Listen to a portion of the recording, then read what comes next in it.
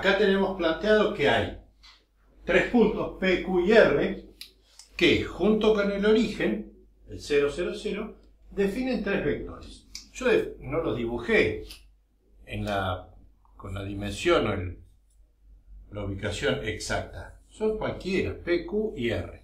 Lo importante es que no sean coplanares, sino cuando querramos hacer el producto mixto para calcular el volumen del paralelepípedo nos va a dar 0. Bueno, vamos a hacerlo. Si da 0, yo sé, no, no podemos hacer otra cosa. Nos piden además que dibujemos el paralelepípedo y que calculemos las coordenadas de los vértices que faltan. Así que vamos a hacer una serie de trazos paralelos para ver cómo queda. Voy a hacer primero una cara que estaría por acá atrás, que es trazar una paralela a este por este extremo. Y después una paralela a este en este extremo. Ahí. Supongan. Esa sería una. Vamos a hacerlo que no se distorsione. Ahí. Acá había un vértice que lo vamos a llamar A. Nos pide calcular las coordenadas de ese vértice.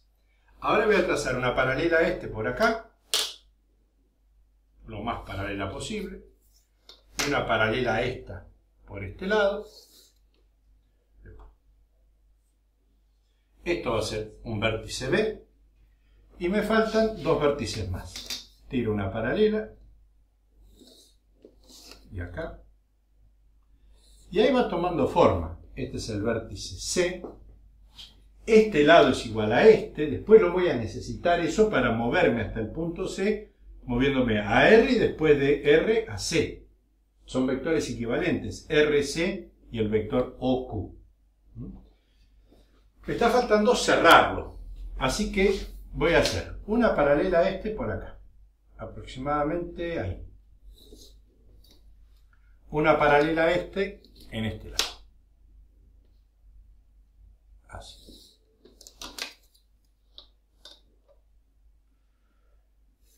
Esta no está del todo bien. Ahí estaría un poquito mejor. Pero bueno. Se trata de ir armando esa caja, una caja desquiciada, ¿sí? fuera de escuadra, con un poquito de cuidado. ¿sí? No, ¿Por qué digo una caja desquiciada? Una caja, caja, es una caja con los ángulos de 90 grados entre una cara y otra. Esta no tiene por qué tener eso. Eso es un paralelepípedo. ¿Mm? Muy bien. Vamos a ver cómo calcular ahora los diferentes puntos A, B y C. Primero, el vector que va del origen a P, de origen a P es 1, 0, 1, porque sería P menos el origen. El origen es 0, así que restar 0 es lo mismo que nada. OQ es 0, 1, menos 3. OR es 1, 2, menos 1. Directamente, porque es esto menos esto, esto menos esto. Muy bien. Vamos al punto A. ¿Cómo puedo calcular el punto A? Y yo me puedo ir de O hasta R y después de acá hasta acá. ¿Cómo?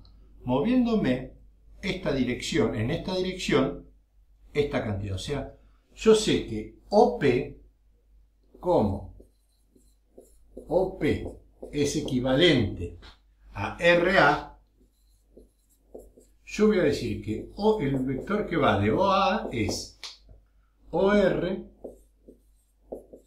más RA, o sea, OR más OP. Estos dos ya los tengo, OR y OP. 1, 2 menos 1, más OP1, 0. Me da 2, 2, 0. O sea que el vector que va de O a A es 2, 2, 0. Esto equivale a las coordenadas del punto A. ¿Sí? Bueno, vamos a hacerlo otro sin tanto despliegue. Vamos a hacerlo un poquito más ágil. Al punto B, a ver, el vector que va de O hasta B, ¿cómo sería? De O hasta B. Y de O a P y de P a B. O sea, OP más PB. OP lo tengo acá. 1, 0, 1. El vector que va de P a B, de P a B, ¿es equivalente a cuál? Al que va de O a Q. O sea que le voy a sumar directamente OQ, que es 0, 1, menos 3. 1 más 0 es 1, 0 más 1 es 1, 1 menos 3 es menos 2. Estas serían las coordenadas del punto B. Me faltan las del C. Bueno, C está acá. Y yo voy a hacer este camino, de O a R y de R a C. O sea que O hasta C es O hasta R más R hasta C. Si lo quieren ver como desplazamientos, está perfecto. Esa es la idea. O sea que OR lo tenía. 1, 2 menos 1 más RC, no lo tengo, pero RC de acá hasta acá es equivalente a OQ. OQ. 0, 1 menos 3. 0, 1 menos 3. Esto me da 1, 3 menos 4. Este sería el punto C.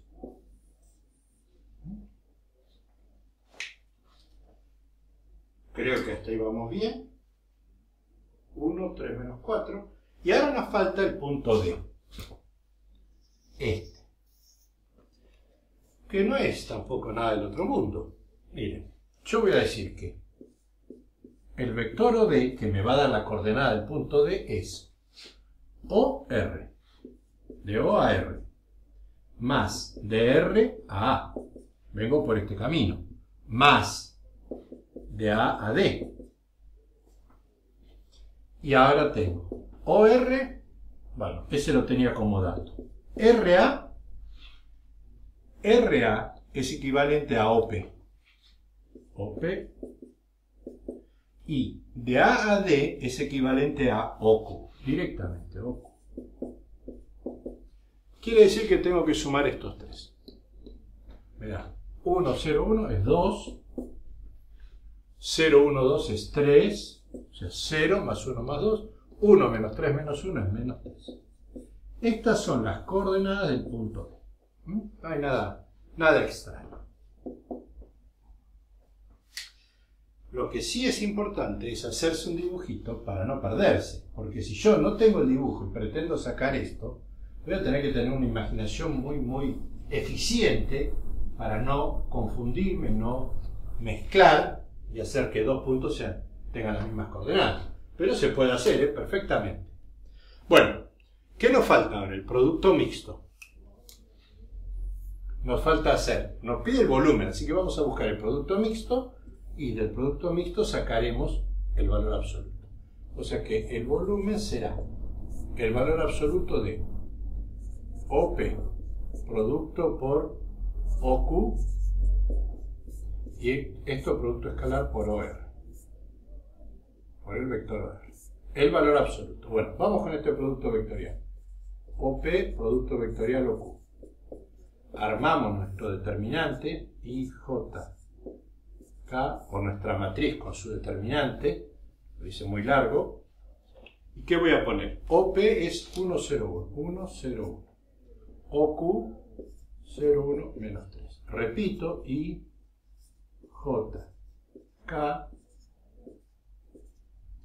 0,101 y calculo estos productos.